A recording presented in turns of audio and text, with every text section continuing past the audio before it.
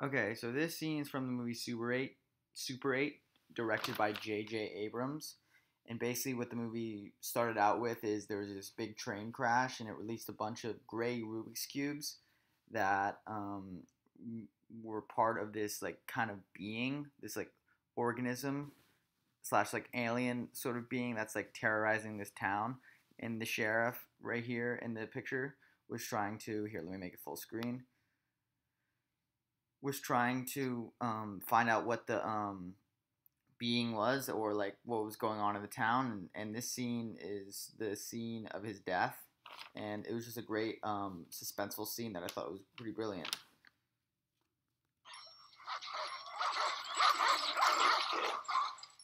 Okay here we have like dogs walk by and i love how like this scene opens up because animals running away are always a warning that a storm is impending and like this alien sort of being represents the storm that is draped over this town that is causing all this trouble and it can just strike at any time it wants. It really introduces like the suspense in the scene and the mystery and really good and it's really brilliant foreshadowing with what's about to happen in the scene. And I think animals can always be an indicator of foreshadowing when something bad is about to happen because animals sense things sometimes better than we do. And I, and J.J. Abrams uses that to his advantage.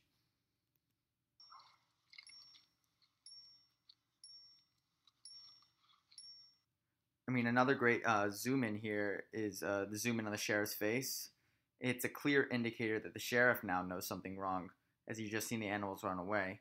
It this close up, like Abrams uses it a lot to emphasize like the anxiety and like the like the sense of bewilderment in a character's face. And right here, he's very confused. He he, uh, knows that.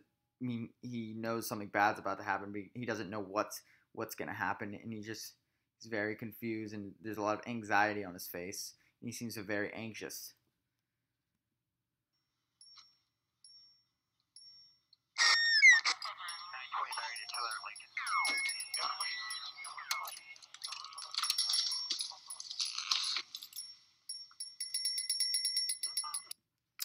Okay, this is this like little these sounds and these quick sounds and jump scares sort of are this is like t- typical horror movie mystery movie techniques, and like with the sound sound used as jump scares, jump scares, and, and ruffling the bushes shows like the mysterious being is like around him, but you can't see it, and it, it's it's asking making the audience ask questions.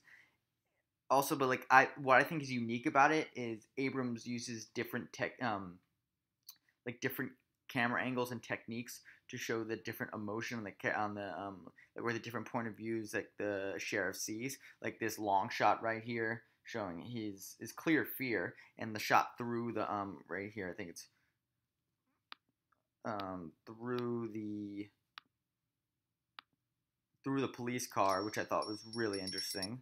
And then the ruffling of the bushes, like you can't see the sheriff's face here, but like you, but the audience, so it's sort of like dramatic irony, but not really. But it's it's very great foreshadowing. He his use of sound is great foreshadowing to what's about to come happen.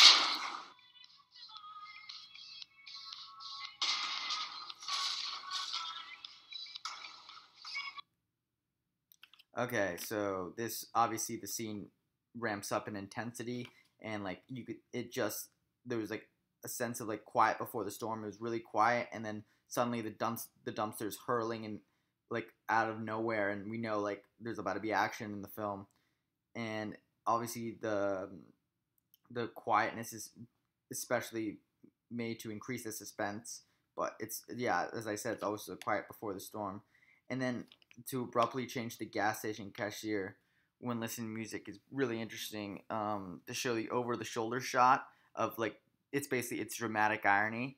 Um, since we we know what's going on, but the guy the the character in the shot, which is the cashier, doesn't know what's going on. So I think Abrams does brilliantly there in kind of not. I'm not saying um, keeping us guessing, but like giving us a great dramatic dramatic irony. Also, the car in this is blurred, sort of, and I believe that um, that shows like the cashier is clearly oblivious to the situation and doesn't know that there's a huge monster um, killing the car. But um, I think it's great technique to show the blurred car because yeah, it does. It shows how oblivious he is.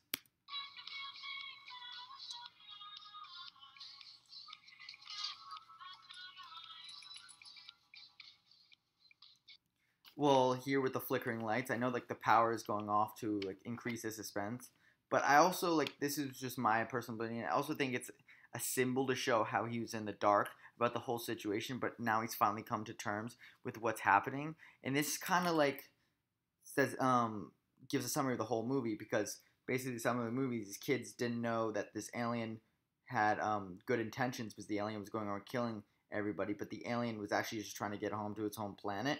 And so I think it was like giving foreshadowing to what the, the movie's actually about. And the kids were like in the dark about the knowledge of the alien, but in reality, um, the alien was just trying to get home. So like the, the flickering lights of like how dark to light is like that contrast I think is very like a symbol about the whole movie.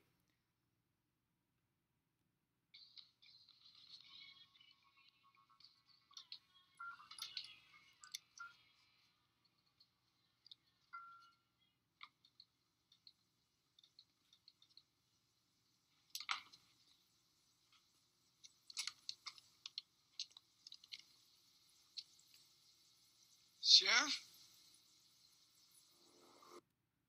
Um, Abrams, I love how Abrams does these long takes. Like he's really famous for long takes to increase the suspense.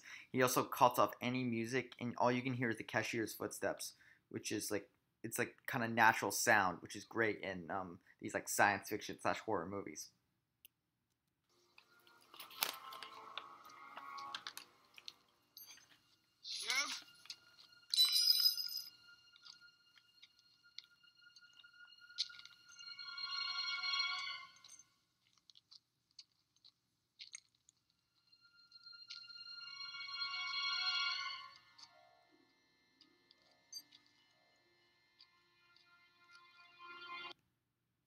Okay, so I thought this was brilliant by Abrams. It, like this is another form of dramatic irony because you can vaguely see in this picture the like kind of shadow of a, a large figure, and obviously we can infer that this is um, the bit the creature or the alien.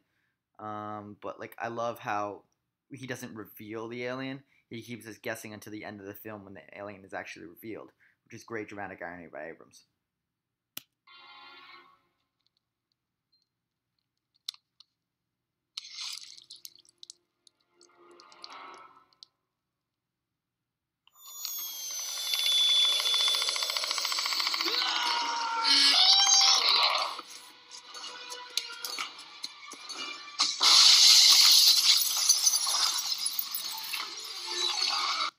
Okay, so um, this is a great attack clip.